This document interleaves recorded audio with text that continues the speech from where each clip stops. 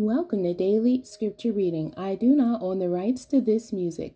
2 Kings chapter 15, beginning at verse 13 and ending at verse 16. This is the English Standard Version. Shallum reigns in Israel. Shallum, the son of Jabesh, began to reign in the thirty-ninth year of Uzziah, king of Judah, and he reigned one month in Samaria. Then Menahem, the son of Gadi, came up from Tirzah and came to Samaria, and he struck down Shallum, Shallum, the son of Jabesh, in Samaria, and put him to death and reigned in his place.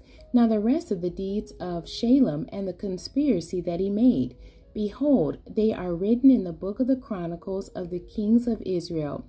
At that time, Menahem sacked Tiphsah and all who were in it, and its territory from Tirzah on, because they did not open it to him. Therefore he sacked it, and he ripped open all the women in it who were pregnant. The end. God bless you, and thank you for joining me today.